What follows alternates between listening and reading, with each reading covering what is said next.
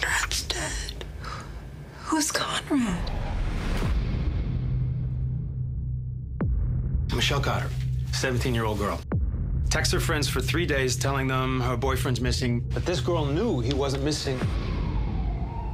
She was in contact with him the whole time, right up until he killed himself. Just texts. Due respect?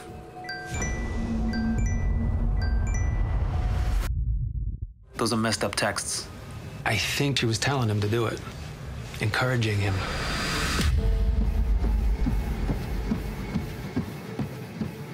I keep finding things out about him. It's like I didn't even know him. It means so much to see you all here for Conrad. Strange that someone so close to him and we never met. What do you think dying is like? Just like floating on water.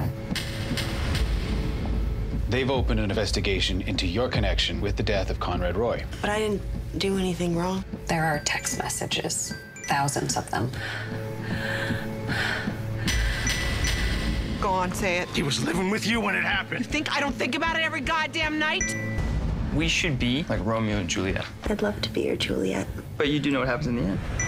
Was this his first suicide attempt? No. This kid has a history of depression. How's this girl responsible this time? There's no law against assisted suicide in this state. She told him to drink bleach. All he thought about was dying. Really just wanted to help him. If we tried this, it would be precedent setting. Lynn, do you believe Michelle Carter murdered your son? I'm stuck. Tell me what to do. What motive could she possibly have? Miss Carter will not be testifying. This whole thing is a lie! He was the love of my life.